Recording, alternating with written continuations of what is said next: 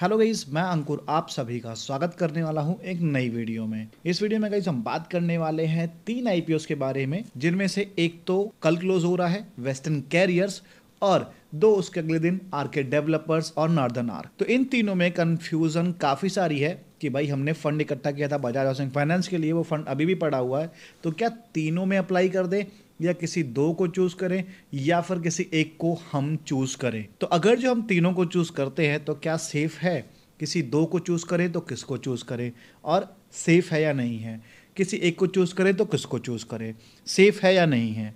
हर एक चीज़ आपको इस वीडियो में बताऊँगा। इन तीनों का कंपैरिजन डिटेल में चर्चा करेंगे यहाँ पे। इनका मैं आपको सब्सक्रिप्शन डेटा और लेटेस्ट जीएमपी भी बताऊँगा इस वीडियो में। और जो कंपैरिजन करूँगा गाइस उसमें मैं आपके साथ थ्री पॉइंट्स पे डिस्कस करने वाला हूँ। डिटेल में चर्चा नहीं करूँगा शॉर्ट में बताऊँगा, क्योंकि तीनों बारे, क्योंकि तीनों के बारे में डिटेल में बताने लगा तो बहुत लंबी वीडियो हो जाएगी और लेट भी हो जाएगा, है ना? तो डिटेल वीडियो अगर जो आपको देखनी है तो आप वेस्टर्न कैरियर्स का नॉर्दर्न आर्क का और आर्के डेवलपर्स का। डिस्क्रिप्शन में लिंक मिल जाएगा, जाके देख लेना। डिटेल में हर चीज़ आपको पता चल जाएगी। उसके साथ ही आपको डिस्क्रिप्शन में ही अपकमिंग शेयर होल्डर कोटे वाले आईपीओ का, एक से दो महीने में एक और आईपीओ कंफर्म सा हो चुका है, आएगा। और साथ में काफ़ी सारे आईपीओ बता रखे हैं, जाके देखना उसके साथ ही बजाज हाउसिंग फाइनेंस का।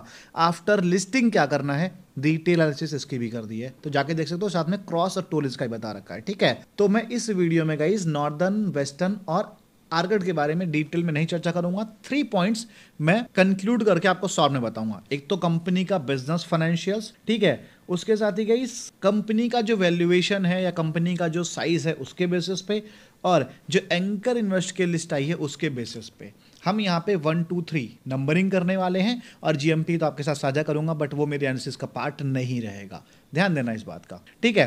तो नंबर तीन पे जो पहला आईपीओ हमारी लिस्ट में, उसके बारे में पहले जान लेते हैं। तो सबसे लास्ट में नंबर तीन पे जो आईपीओ है गई वो है western carrier India limited IPO western carriers की बात रह गई तो इस आईपीओ का जो डेट है वो थर्टीन को ओपन हुआ है एटीन तो क्लोज हो जाएगा नाइनटीन को अलॉटमेंट डेट है ट्वेंटी थर्ड को इसकी listing date one seventy two का प्राइस बैंड है फाइव की फेस पे, आपको यहीं पे प्राइस बैंड महँगा लग रहा होगा और एक्चुअल में है भी. Size four ninety two crore का है, जिसमें fresh issue four hundred crore बाकी बचा हुआ एफ़ उठाया गया है और थर्टी फाइव परसेंट कोटा इस आईपीओ में रिटेलर्स के लिए रखा गया है. ओवरऑल अगर जो मैं तीनों से कंपैरिजन करूँ तो business wise financial data wise valuation wise और एंकल लिस्ट के हिसाब से तो गईस मुझे इन तीनों में सबसे ज़्यादा वीक ये कंपनी लगी गेन देने के हिसाब से। और इसमें जो मेरी प्रायोरिटी है, वो लिस्टिंग गेन के लिहाज से है। ठीक है वेस्टर्न कैरियर्स का। लॉन्ग टर्म में अगर जो जाना चाहें तो दे सकता है बढ़िया गेन लेकिन कहीं ना कहीं फिर भी मुझे थोड़ा वीक लग रहा है। जब प्राइसिंग महँगी होती है तो गेन का स्पेस ज़्यादा छोड़ा नहीं जाता है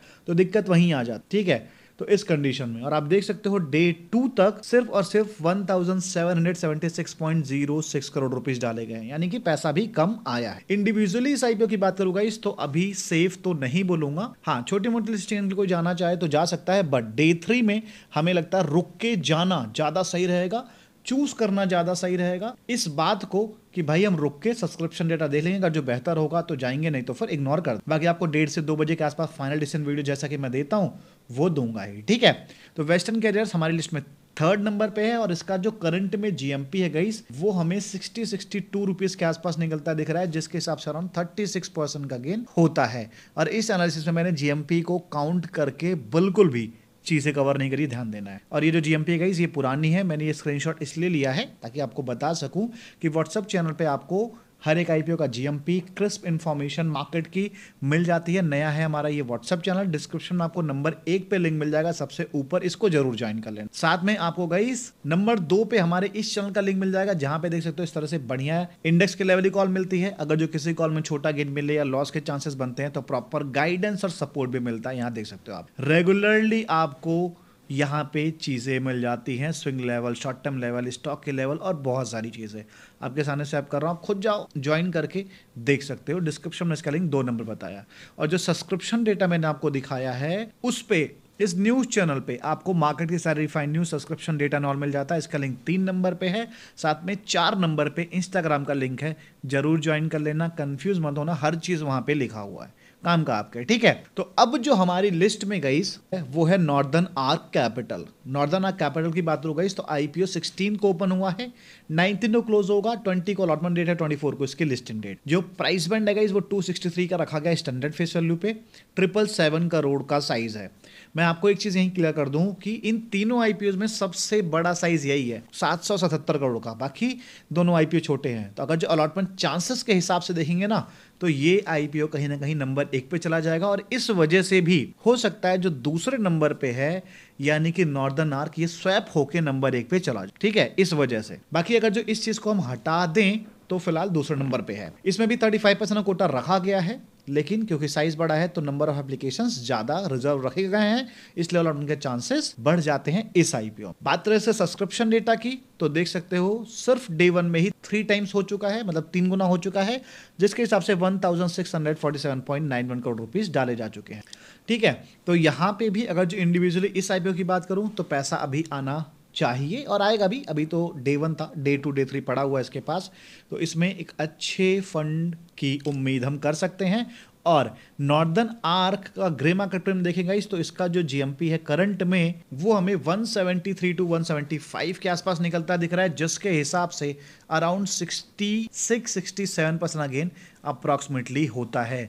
तो बहुत ही बढ़िया डिमांड इसकी निकल रही है एंकर लिस्ट इसकी बढ़िया है, और बिज़नेस भी ठीक है। कुछ चीज़ें थोड़ी सी नेगेटिव रही, वरना ये आईपीओ बहुत अच्छा करता दिखता, है ना? और नंबर एक पे बिना किसी बात के इसको रखना पड़ता हमें।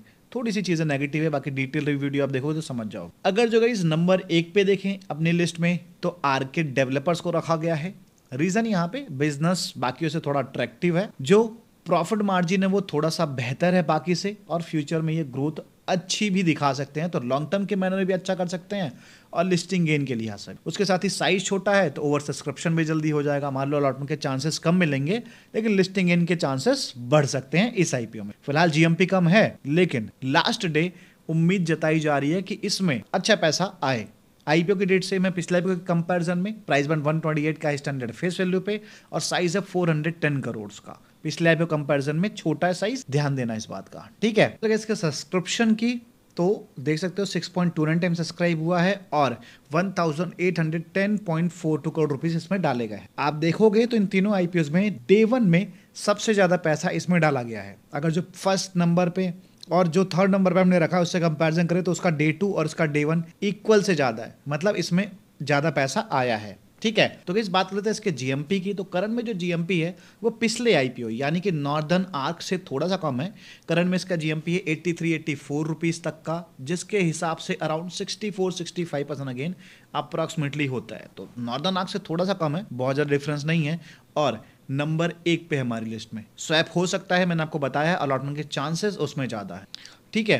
तो आपको गईस मैंने सारी चीज़ें अपनी तरफ़ से बता दी हैं। मैंने आपको हर एक इंपॉर्टेंट डेटा दे दिया है, जिससे आप क्लियर हो सको कि आपको क्या डिसीज़न लेना है किसमें अप्लाई करना है। आपको नंबर एक नंबर दो को अगर जो चूज़ करना है तो मुझे लगता है रुक के चूज़ करो सब्सक्रिप्शन डेटा थोड़ा सा देख लो, उसके बाद जाओ। और अगर जो आप स्मॉल लिस्टिंग इनके लिए जा सकते हो, थोड़ा बहुत रिस्क भी ले सकते हो तो आप कभी भी लगाओ नंबर एक नंबर दो को चल जाएगा। बट जो नंबर तीन पे है, उसमें तो आपको सब्सक्रिप्शन डेटा देख के जाना आइए। ठीक है? बाकी इनमें से आप किसी भी आई अप्लाई करो तो एक बार अपना रिस्क एनालाइज कर लो, एक बार इनके बारे में ढंग से पढ़ लो, उसके बाद ही निवेश करो। हमारी तरफ़ से कोई भी रिकमेंडेशन नहीं है किसी भी आई को रिगार्डिंग प्योरली एनालिसिस करते हैं आपके लिए ताकि आपका डिसीज़न आसान हो और आप जो एनालिसिस अपनी करो, उसमें हेल्प मिल सके। ठीक है? तो वीडियो अगर जो हेल्पफुल लगी है तो वीडियो को लाइक करके चैनल को सब्सक्राइब कर देना ताकि आपके सपोर्ट से वन लाख सब्सक्राइबर्स की फैमिली जल्दी ही कंप्लीट हो सके। 94,000 प्लस मेंबर्स हमारे चैनल से जुड़ चुके हैं। तो मेक श्योर sure कि इस फैमिली से जुड़ना ना भूलें चैनल को सब्सक्राइब करना ना भूलें। मिलते हैं गाइस अगली वीडियो में करते thank you watching guys please tell this and बाबा फोना